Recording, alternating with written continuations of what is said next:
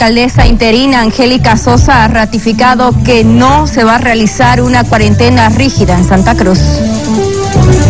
¿Qué merece sobre el paro de 48 horas por parte del sector médico, por favor? Respeto al sector salud, pero en este momento estamos siguiendo los consejos de la propia Secretaría de Salud del Gobierno Municipal. Las emergencias y todo deben atender. Hoy la prioridad es la atención al vecino y dar esa certidumbre.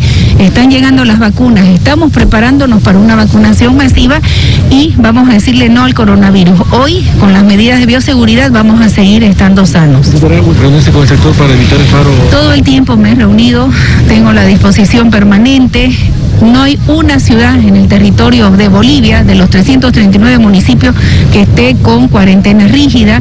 Hemos visto lo que dicen los distintos eh, sectores de salud, Ministerio de Salud, entonces estaré dispuesta al diálogo, pero las medidas de cuarentena dinámica se mantienen en el municipio de Santa Cruz de la Sierra.